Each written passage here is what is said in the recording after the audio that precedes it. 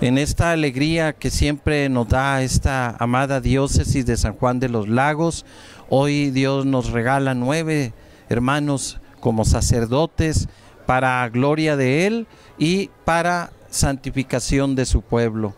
Así, esta diócesis por la fe que han sembrado y siguen haciéndolo tantos hermanos en las familias de una manera especial y en la vida de una parroquia, de las parroquias, pues eso nos trae bastantes bendiciones. También reciban del Santo Padre Francisco un saludo. Él eh, ubica muy bien a la amada diócesis de San Juan de los Lagos.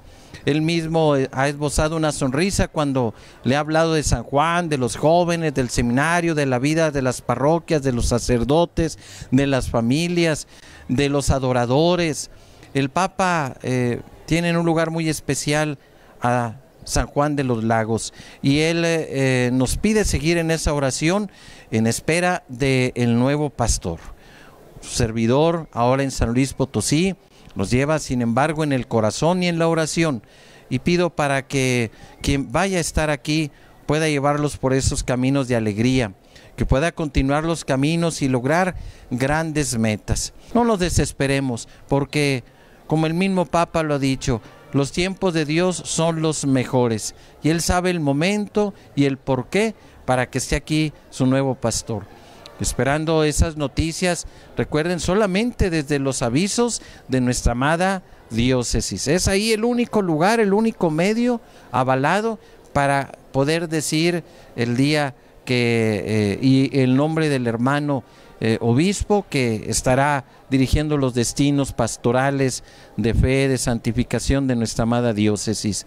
Quiero invitarles a que las situaciones difíciles que a veces nos toca afrontar en la sociedad de cualquier índole, eh, como la violencia, por ejemplo, no nos desanimen, nos hagan precisamente descubrir cómo Dios, en quien creemos y adoramos, es el Dios que es amor, Dios que es paz, Dios que es vida.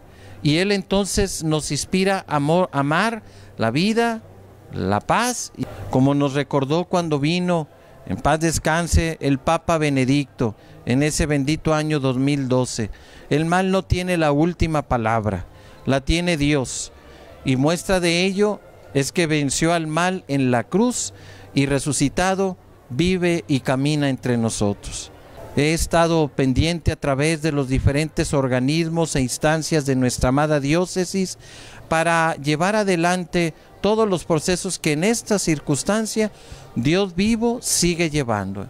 En cada sacerdote, en cada comunidad religiosa, en cada parroquia, en cada área, cada comisión, en cada vocalía, Dios sigue ahora sembrando, llamando, actuando. No tengamos duda de esto porque Él ama profundamente a toda su iglesia y está entonces presente.